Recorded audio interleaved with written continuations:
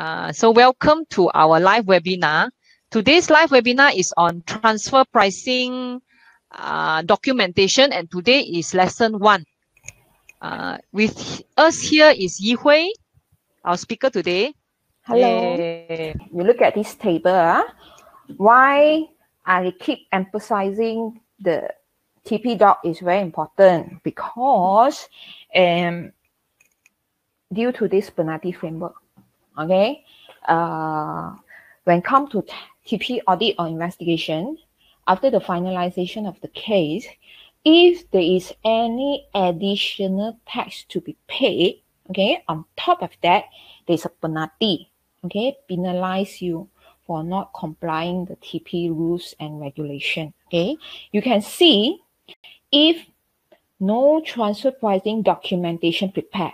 Okay, you when they ask, you don't have any document.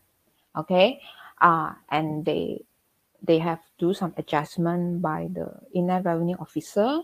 Any additional tax, you are subject to 50% penalty. Say after the TP adjustment, your additional tax is 100,000. 50% of 100,000, which is mean 50,000 will be your TP penalty. Why we need to use the key, uh, allocation key? Allocation key is used to determine the share on the cost basis for each recipient of services. Okay, and is used when cost cannot be assigned to each recipient directly. Means that quite common that some of the cost is being shared. If the cost is a direct cost, okay, it's only being uh, serviced one party or being consumed by one person, I can straight away allocate. Okay, but a lot of this kind of situation is very complicated because everything is shared. I then with that I cannot direct allocate. That is the complication step in. That's why I need to have allocation key. From question from Tek Hui, Melin, Joyce, and Chris.